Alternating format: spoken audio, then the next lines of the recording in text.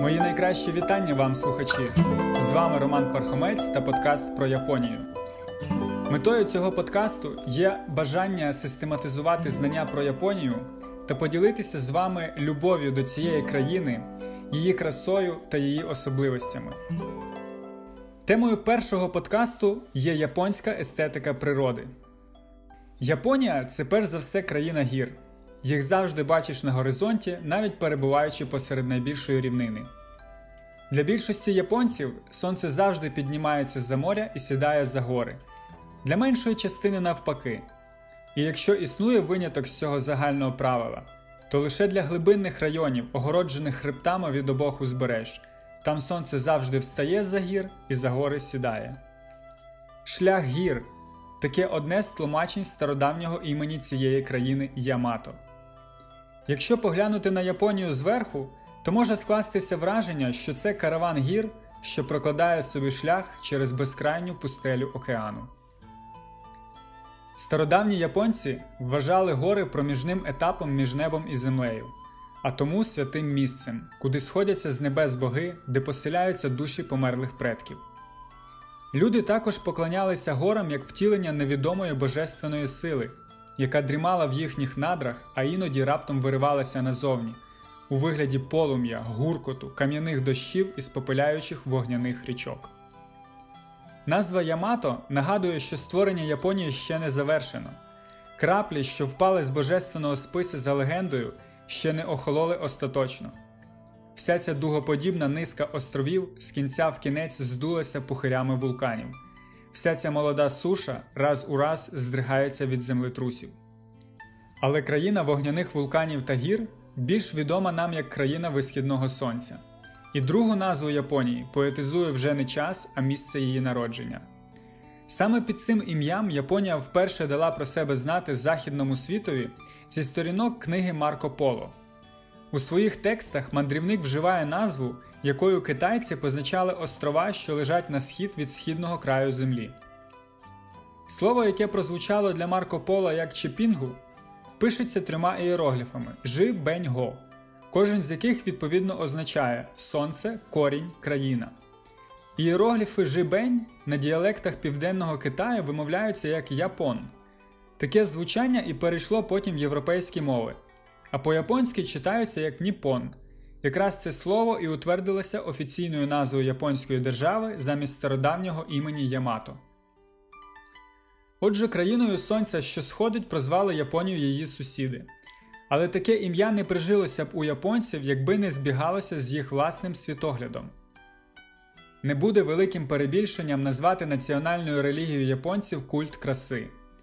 Саме естетичні норми багато в чому визначають життєву філософію цього народу. Японцям притаманне загострене почуття гармонії, художній смак пронизує весь уклад їхнього життя.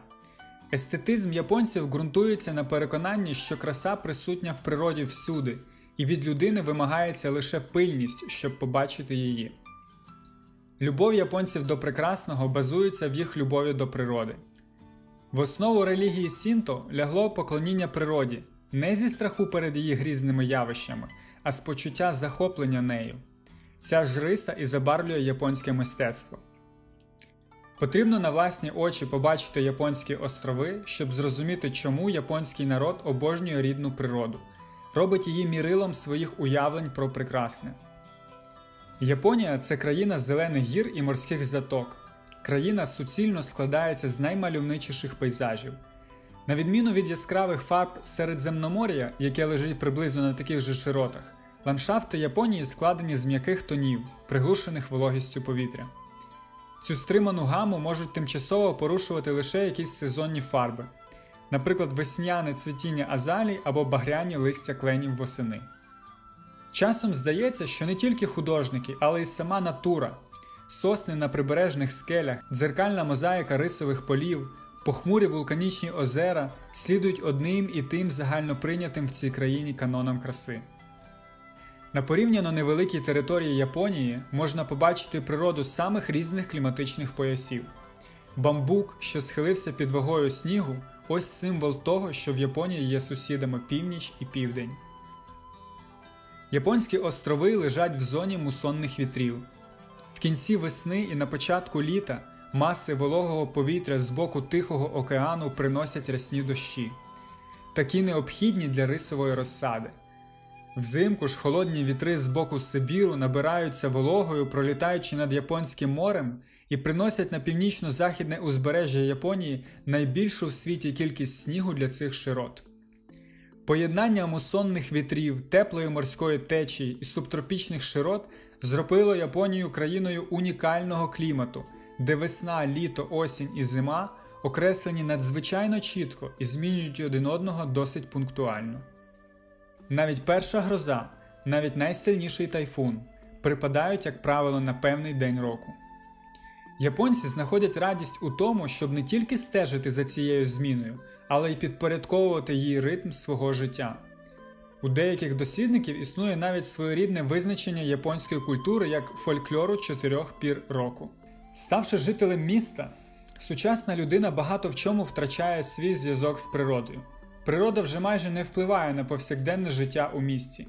Проте японець навіть в місті залишається дуже уважним до змін пір року. Згідно календаря, він намагається їсти певну їжу, носити певний одяг, надавати відповідний вигляд своєму житлу. Він любить приурочувати сімейні торжества до особливих явищ природи, цвітіння сакури або до осіннього повного місяця. Любить бачити на святковому столі нагадування про пори року, паростки бамбуку навесні або гриби восени. Жага спілкування з природою межує у японця з пристрастю. Причому любов ця зовсім не обов'язково співвідноситься з чимось масштабним. Предметом її може бути і травинка, на якій влаштувався стрибунець, і молода польова квітка, і хімерно зігнутий корінь, словом, все, що слугує вікном в нескінченну різноманітність і мінливість світу. Японцям властива не стільки рішучість підкорювати, перетворювати природу, а навпаки, прагнення жити в злагоді з нею. Ця риса пронизує також їхнє мистецтво. Японські архітектори зводять свої споруди так, щоб вони зливалися з навколишнім середовищем. Мета японського садівника відтворити природу в мініатюрі. Ремісник прагне показати фактуру матеріалу, кухар зберегти смак і вигляд продукту. Прагнення до гармонії з природою головна риса японського мистецтва. Вона визначає підхід художника до матеріалу. Якою б не була спільність культур Японії та Китаю, тут вони в корені різні. Пафос китайського мистецтва стверджує всемогутність людських рук. Японський же художник не диктує свою волю матеріалу, а лише виявляє закладену в ньому природню красу. Природа країни впливає на людину не тільки своїми окремими елементами, але і всією своєю сукупністю, своїм загальним характером і колоритом. Виростаючи серед багатої і різноманітної природи, японці всмоктують з молоком матері любов до краси і природи і здатність вловлювати в ній прекрасне. Почуття витонченого, схильність насолоджуватись красою властиві в Японії всьому населенню від хлібороба до аристократа. Навіть простий японський селянин, естетик і артист в душі, безпосередньо сприймає прекрасне в навколишній природі. Нерідко він відправляється у далекі подорожі, щоб помилуватися певним красивим видом. А особливо красиві гори, струмки або водоспади служать навіть об'єктом побожного культу, тісно переплітаючись з уявленням простолюдина з конфуціанством або буддизмом. З цього культу краси, який ґрунтується на чудовому колориті навколишньої дійсності, виникло японське мистецтво. При вивченні історії, літератури і фольклору можна встановити два головних джерела розвитку японської культури. Одне з них це любов до природи, а друге убогість матеріальних ресурсів. Любов японців до природи подібна тому почуттю, яке діти відчувають до своїх батьків, захоплюючись ними і водночас побоюючись їх. Мірилами краси у японців служать чотири поняття, три з яких це сабі, вабі та сібуй. Сягають вони корінням в стародавню релігію Сінто. Також є четверте поняття юген, навіяно буддійською філософією. Спробуємо розібратися в змісті кожного з цих термінів. Слово перше сабі. Краса і природність для японців поняття тотожні. Все, що не природньо, не може бути красивим. Але відчуття природності можна підсилити додаванням особливих якостей. Вважається, що час сприяє виявленню сутності речей, тому японці бачать особливу чарівність в слідах часу.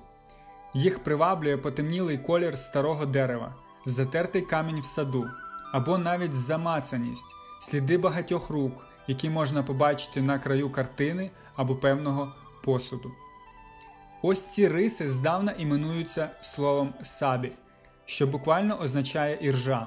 Отже, сабі це не підробна іржа, архаїчна недосконалість, старовина, слід часу.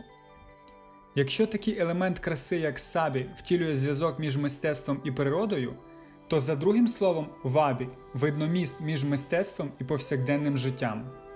Поняття вабі підкреслюють японці, дуже важко пояснити словами, його треба відчути. Вабі це відсутність чого-небудь химерного, помітного, навмисного, тобто в уявленні японців вульгарного. Вабі це краса буденного, мудра стриманість, краса простоти. Виховуючи в собі вміння задовольнятися малим, японці знаходять і цінують прекрасне у всьому, що оточує людину в її буденному житті, в кожному предметі повсякденного побуту. Не тільки картина або ваза, а будь-який предмет домашнього побуту, навіть лопатка для накладання рису або бамбукова підставка для чайника можуть бути твором мистецтва і втіленням краси. Практичність, утилітарна краса предметів ось що пов'язано з поняттям вабі. Вабі і сабі слова старі.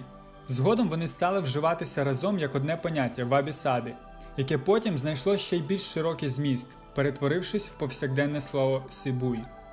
Якщо запитати японця, що таке сібуй, він відповість те, що людина з хорошим смаком назве красивим. Сібуй таким чином означає остаточний вирок у оцінці краси. Протягом століть японці розвинули в собі здатність розпізнавати і відтворювати якості, що визначаються словом сібуй. Майже інстинктивно кожний японець може це розпізнати. У буквальному сенсі слова сибуй означає терпкий, в'яжучий. Пішло це слово від назви повидла, яке готують з хурми. Сибуй це краса простоти плюс краса природності. Це не краса взагалі, а краса притаманна призначенням даного предмета, а також матеріалом, з якого він зроблений. Кинжал не має чого прикрашати орнаментом. У ньому повинна відчуватися гострота леза і добротність гарту. Чашка хороша, якщо з неї зручно і приємно пити чай, і якщо вона при цьому зберігає природню принадність глини, що побувала в руках гончара. При мінімальній обробці матеріалу максимальна практичність виробу. Поєднання цих двох якостей японці вважають ідеалом. Слово сибуй має саме різне часом навіть несподіване застосування. Слово сибуй може бути втілене в терпкому смаку зеленого чаю, в тонкому невизначеному ароматі хороших парфумів. Сибуй це відкриття внутрішнього змісту, недосконалість в поєднанні з тверезою стриманістю. Все штучне, вигадливе є несумісним з цим поняттям. Поняття вабі, сабі або сибуй ховаються в умінні дивитися на речі як на істоти одухотворені. Майстер дивиться на матеріал не як володар на раба, а як чоловік на жінку, від якої він хотів би мати дитину, схожу на себе. В цьому відгомін давньої релігії Сінто. Можна сказати, що розуміння краси закладено в японців від природи, від природи в самому буквальному сенсі цього слова. І тут вже можна говорити не тільки про вплив Сінтой, а й про глибокий слід, який залишив в японському мистецтві буддизм. Таємниця мистецтва полягає в тому, щоб вслухатися в невимовне, милуватися невидимим. У цій думці базується четвертий критерій японського уявлення про красу. Він іменується юген і втілює з собою майстерність натяку або підтексту, красу недосказаності. Закладена в природі японських островів постійна загроза непередбачених стихійних лих сформувала у народу душу дуже чутливу до змін навколишнього середовища. Буддизм додав сюди свою улюблену тему про непостійність світу. Обидві ці передумови спільно привели японське мистецтво до оспівування мінливості, тлінності. Радіти чи сумувати з приводу змін, які несе з собою час, притаманне всім народам, але побачити в недовговічності джерело краси зуміли, мабуть, лише японці. Не випадково своєю національною квіткою вони обрали саме сакуру. Весна не приносить з собою на японські острови того буяння стихій, коли річки ламають кригу та води перетворюють рівнини в безмежні моря. Довгоочікувана пора пробудження природи починається тут з раптового буйного спалаху цвітіння вишні. Її рожеві суцвіття хвилюють і захоплюють японців не тільки своєю кількістю, а й своєю недовговічністю. Пелюстки сакури не в'януть, весело кружляючи, вони летять до землі від найлегшого подову вітру. Вони прагнуть краще опасти ще зовсім свіжими, ніж хоч трішки втратити свою красу. Поетизація мінливості, недовговічності пов'язана з поглядом буддійської секти дзен, що залишила глибокий слід в японській культурі. Сенс вчення Буди, що проповідує дзен, настільки глибокий, що його не можна висловити словами. Його можна осягнути не розумом, а лише інтуїцією, не через вивчення священних текстів, а через певне раптове осяяння. Причому до таких моментів найчастіше веде споглядання природи в її нескінченній мінливості, вміння завжди знаходити порозуміння з навколишнім середовищем, бачити велич дрібниць життя. З вічною зміною світу вчить секта дзен несумісна ідея завершеності, а тому уникати її слід і в мистецтві. В процесі вдосконалення не може бути вершини, точки спокою, не можна досягти повної досконалості тільки як на мить, яка відразу тоне в потоці змін. Удосконалення прекрасніше, ніж досконалість, незавершення повніше уособлює справжнє життя. Тому найбільше здатний розповісти про красу той твір, в якому не все приведено до кінця. Частіше натякати, ніж декларувати, ось принцип, який робить японське мистецтво мистецтвом підтексту. Художник навмисно залишає в своєму творі якийсь вільний простір, надаючи кожній людині по-своєму заповнити його власною уявою. У японських живописців є крилатий вислів. Порожні місця на сувої мають більше сенсу, ніж те, що написав на ньому пензель. У акторів здавна існує заповідь: якщо хочеш висловити свої почуття повністю, розкрий себе на 8 десятих. Японське мистецтво взяло на себе завдання бути красномовною мовою недомовок. І подібно до того, як японець сприймає іерогліф не просто як кілька штрихів пензлем, а як певну ідею, він вміє бачити на картині незмірно більше того, що на ній зображено. Дощ у бамбуковому гаю, верба біля водоспаду, будь-яка тема, доповнена на фантазію глядача, стає для нього вікном в нескінченну різноманітність і вічну мінливість світу. Юген або принадність недомовленості це та краса, яка скромно лежить в глибині речей, не прагнучи на поверхню. Її може зовсім не помітити людина, позбавлена смаку або душевного спокою. Вважаючи незавершеність несумісною з вічним рухом життя, японське мистецтво на тій же підставі заперечує і симетрію. Ми настільки звикли ділити простір на рівні частини, що, ставлячи на полицю вазу, абсолютно інстинктивно поміщаємо її посередині. Японець настільки ж машинально змістить її в бік, бо бачить красу в асиметричному розташуванні декоративних елементів, в порушеній рівновазі, яка уособлює для нього світ живий і рухливий. Симетрія свідомо уникається також тому, що вона втілює собою повторення, а симетричне використання простору виключає парність. А будь-яке дублювання декоративних елементів японська естетика вважає гріхом та несмаком. Посуд на японському столі не має нічого спільного з тим, що ми називаємо сервізом. Приїжджі дивуються, що за різнобій, а японцеві здається несмаком бачити такий самий розпис і на тарілках, і на блюдах, і на супниці, і на чашках для кави. Отже, насолоджуватися мистецтвом означає для японців слухатися в невимовне, милуватися невидимим. Такий жанр, як суміє, картини, що немов проступають крізь туман, зроблені чорною тушшю на мокрому папері, живопис натяків і недомовок. Так і є з хайку, вірші з єдиної фрази, з одного поетичного образу. Ця гранично стиснута форма здатна нести в собі воістину бездонний підтекст. Ототожнюючи себе з однією з чотирьох пір року, поет прагне не тільки оспівати свіжість літнього ранку в краплі роси а й вкласти в цю краплю щось від самого себе, даючи фантазії читача поштовх, щоб відчути і пережити цей настрій по-своєму. Найвищим проявом поняття юген можна вважати поему з каменю і піску, що іменується філософським садом. Майстер чайної церемонії Соамі створив цей сад в монастирі Реанзі в Кіото за чотири століття до того, як сучасні художники відкрили мову абстрактного мистецтва іншими шляхами. Люди, які звикли сприймати красу не інакше, як в цифровому вираженні, бачать тут лише прямокутний майданчик, посипаний білим гравієм, серед якого в безладі розкидано півтора десятків каменів. Але це дійсно поезія. Японці надають перевагу тому, що має глибинну тінь, а не поверхневу ясність.